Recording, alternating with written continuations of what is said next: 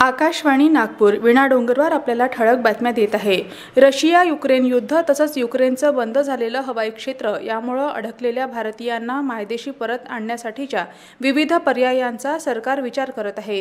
हे पर्याय पडताळण्यासाठी हंगेरीतल्या भारतीय दूतावासाचं एक पथक सीमावर्ती भागात रवाना झालं असून भारतीयांना माघारी आणण्यासाठी परिस्थितीवर लक्ष ठेवून आहे.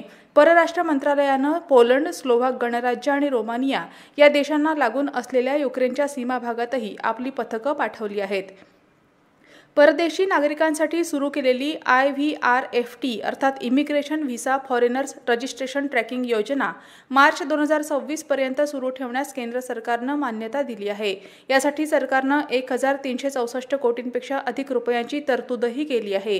ही योजना एप्रिल दोन हजार एकवीसमध्ये सुरू करण्यात आली होती. तेव्हापासून ते आतापर्यंत व्हिसा आणि परदेशात राहणाऱ्या भारतीयांसाठी दिल्या जाणाऱ्या कार्डांची संख्या सात पूर्णांक सात शतांश टक्क्यांना वाढली असल्याचं केंद्रीय गृहमंत्री मंत्रालयानं म्हटलं आहे. संरक्षण क्षेत्रात देशांतर्गत संशोधनाला आणि निर्मितीला प्राधान्य देणारा यावर्षीचा अर्थसंकल्प आहे असं पंतप्रधान नरेंद्र मोदी यांनी म्हटलं आहे. संरक्षण क्षेत्रात आत्मनिर्भरता या विषयावर आयोजित वेबिनारमध्ये ते बोलत होते.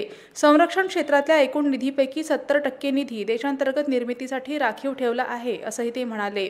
देशातल्या खनिज संपन्न राज्यांच्या खनिकर्म आणि उद्योग मंत्र्यांची दोन दिवसीय बैठक आज ओदिशात कोणार्क इथं सुरू आहे. केंद्रीय पोलाद मंत्री रामचंद्र प्रसाद सिंग बैठकीच्या अध्यक्षस्थानी आहेत. केंद्रीय पोलाद आणि ग्रामविकास विभागाचे राज्यमंत्री फग्गन सिंग कुलस्ते उद्या बैठकीला संबोधित करतील. महाराष्ट्राखेरीज आंध्र प्रदेश छत्तीसगड झारखंड कर्नाटक मध्य प्रदेश राजस्थान आणि ओदिशा ही राज्य बैठकीत सहभागी आहेत. कोविड प्रतिबंधक लसीकरण मोहिमेत देशानं आज आतापर्यंत एकशे सत्याहत्तर कोटी मात्रांचा टप्पा ओलांडला. आज सकाळपासून देशभरात सव्वीस लाखांपेक्षा जास्त नागरिकांचं लसीकरण झालं. त्यामुळं लाभार्थ्यांना आतापर्यंत दिलेल्या मात्रांची एकूण संख्या एकशे सत्याहत्तर कोटी चार लाखांच्या वर गेली. त्यात अठ्याहत्तर कोटी अडुसष्ट लाखांपेक्षा जास्त नागरिकांना दोन मात्रा मिळाल्या आहेत.